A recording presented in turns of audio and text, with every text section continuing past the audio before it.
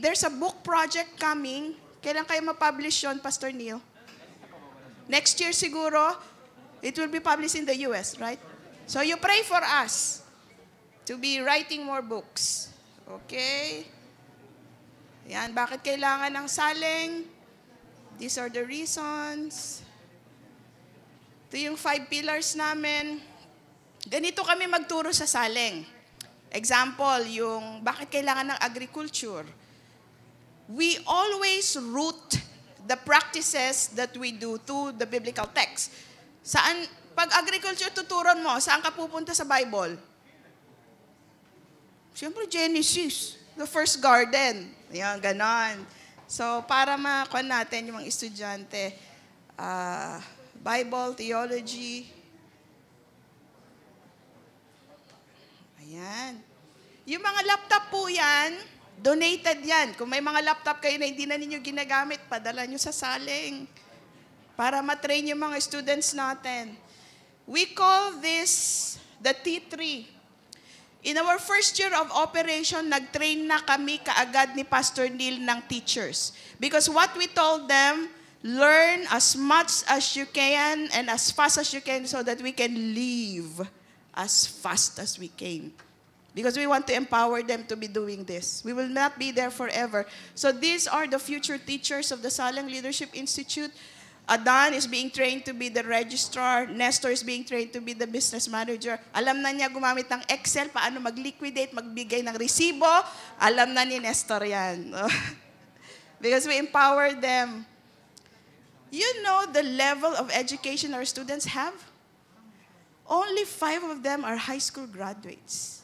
These are grade three, grade six. But you know the level of skill and ability? Pag may, may mayroon dito education graduate, ilalaban namin sila on how to write a lesson plan. You know why? Because we taught them well. Di ba? Magaling silang gawa ng lesson plan. Sabi ko nga, magsulat na sila ng libro. Ang dami namin estudyante sa saling. Okay, you pray for them. Yan po mga estudyante.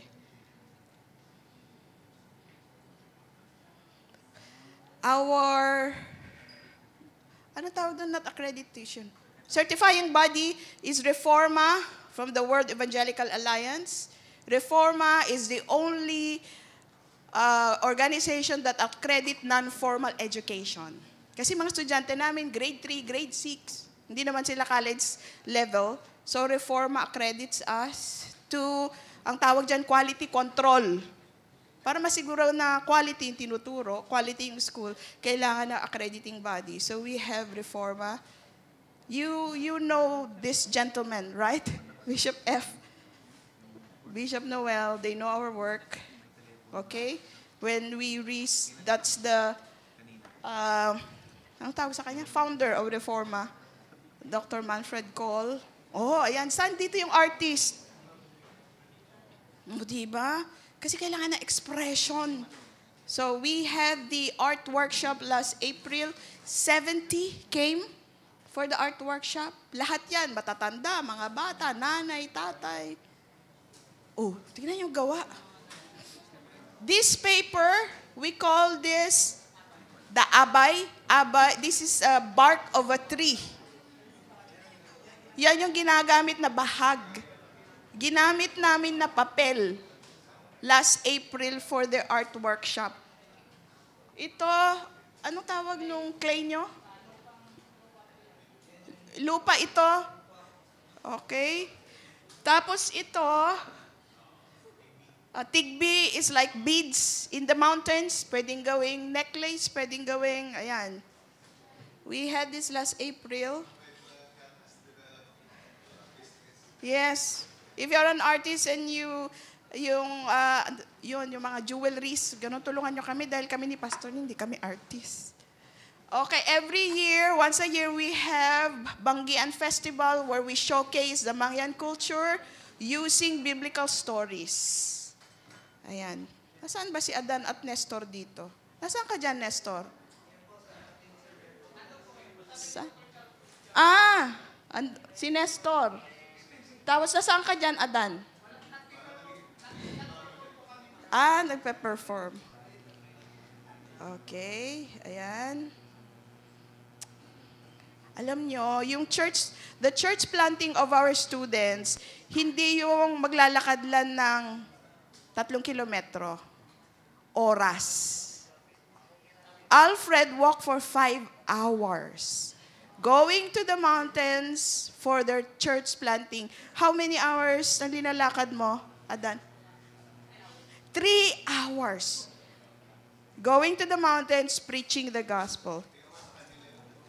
Ah, three hours sa lakad niya. Sa lakad niyo, baka five hours. Yan, no?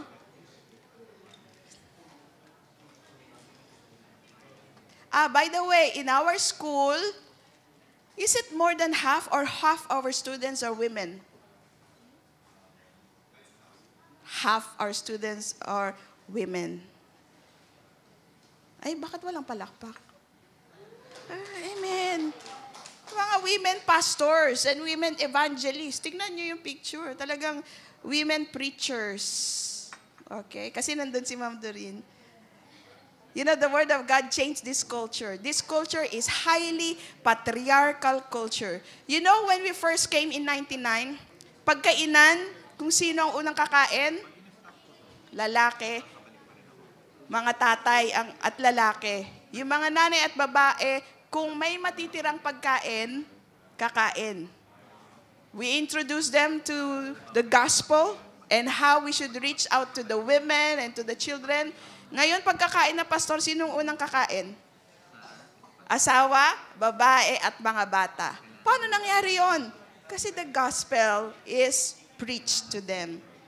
God, uh, the gospel doesn't only change a person, the gospel can change a culture, a community.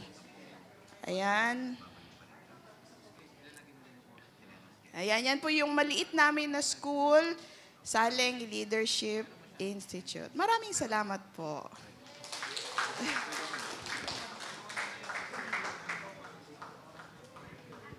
Okay, thank you. Okay, our food is here. Let me just pray for the food. Lord, thank you for our food. May it bring nourishment to our bodies, Lord. Bless our conversations. In Jesus' name, amen. All right, ladies.